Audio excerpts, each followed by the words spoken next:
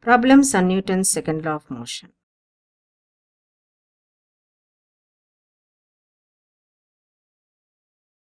A force of 5 Newton gives a mass m1 an acceleration of 8 meters per second square and a mass m2 an acceleration of 24 meter per second square. What acceleration would it give if both masses are tied together? So basically there are two objects, one of mass m1 which is moving with an acceleration of 8 meters per second square a1 and a mass m2 which is moving with an acceleration of 24 meter per second square. If we tie m1 and m2 together then with what acceleration will it move? If m1 moves with 8 meters per second square, m2 moves with 24 meter per second square, m1 and m2 put together moves with what acceleration? And for m1 to move with this acceleration, the force used is F is 5 Newton. And the same force is used on all these objects. So, with the same force, with the same masses of two different objects, how it acts individually, how it acts when it is tied together. So for that first we need to understand what is M1, what is M2 and then we can find out A. So let us go to the first part of the question to find M1. So F is 5 Newton and A1 is 8 meter per second square. We know that F is equal to M1 into A1 which means 5 is equal to M1 into 8. So mass is equal to 5 by 8 kg. And in the second part, let's find what is M2. So F is 5 Newton and A2 is 24 meter per second square. So F is equal to M2 into A2 which means 5 is equal to M2 into A2 is 24. So M2 is equal to 5 by 24 kg. So we found M1 from this and we found M2 from this. So we know M1, we know M2. So we know M1, M2. We know force, so we should be able to find A. So in the third case, the mass becomes F is the same 5 Newton and mass is M1 plus M2. So 5 by 8 plus 5 by 24 which is 24 the LCM 8 3s 3 5s 15 plus 5 which is 20 by 24 so 4 5s and 4 6s 5 by 6 kg. Since F is equal to M into A A is equal to F by M F is 5 and M is 5 by 6. So since it is in the denominator, it becomes 6 by 5 and 5 ones 5 ones.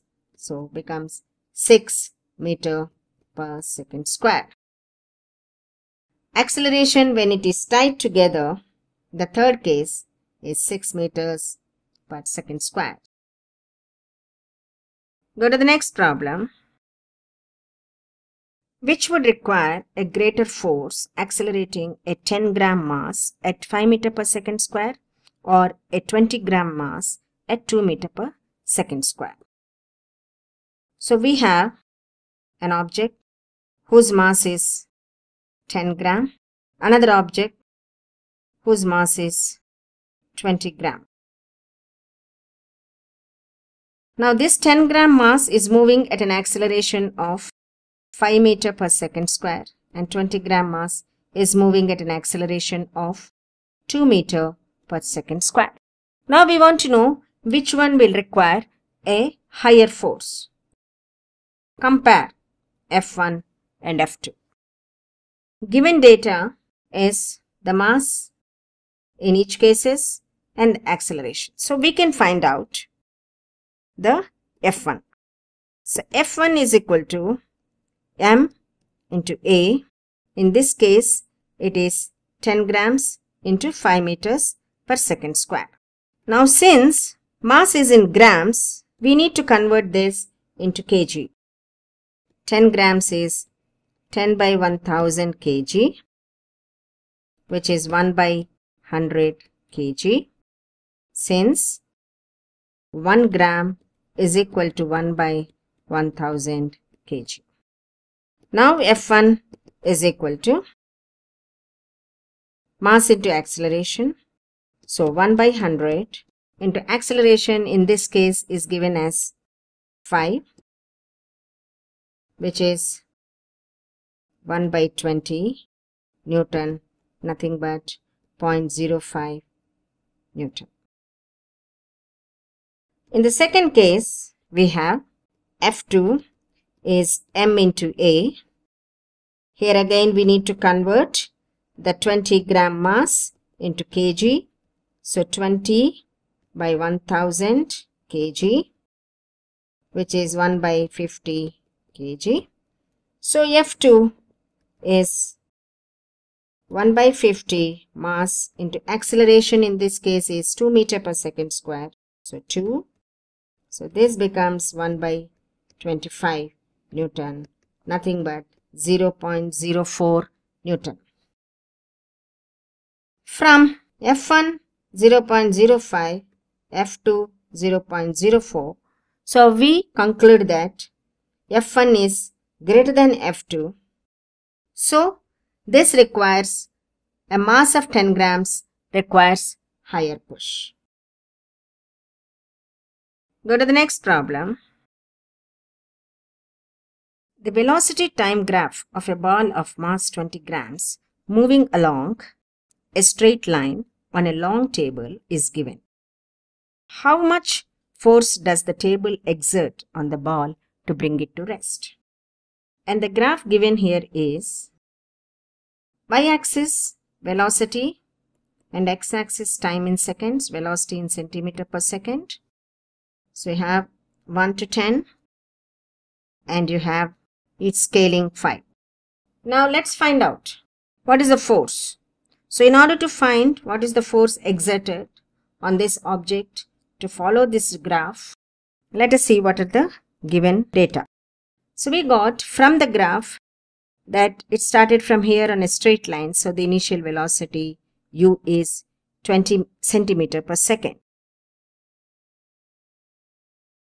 And final velocity we see at the end of the straight line the velocity 0 centimeter per second. And the time taken for this is 10 seconds. So we will find out the acceleration from this data. As to find force, we need acceleration. So acceleration A is equal to V minus U by T, which is 0 minus 20 by 10, which is minus 20 by 10. 10 ones, 10 twos, so minus 2 centimeter per second square, which on conversion to meter, we will get minus 2 by 100 meter per second square, two ones, two fifties, so which is minus 1 by 50 meter per second square. Since 1 centimeter is equal to 1 by 100 meter. Now that we know acceleration, we need to find what is the force exerted. For which, from Newton's second law, we have the equation force F is equal to mass m into acceleration A. So mass m is given as 20 grams which again we need to convert back into kgs. So divide by 1000. So we will get it as 1 by 50 kg. Since 1 gram is equal to 1 by 1000 kg. So F is equal to mass 1 by 50 into the acceleration A is equal to minus 1 by 50 meter per second square.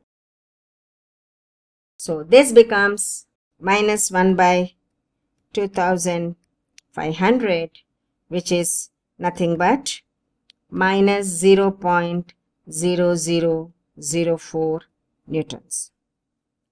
So the force that is required to follow the motion on this straight line graph is minus 0.0004 newtons.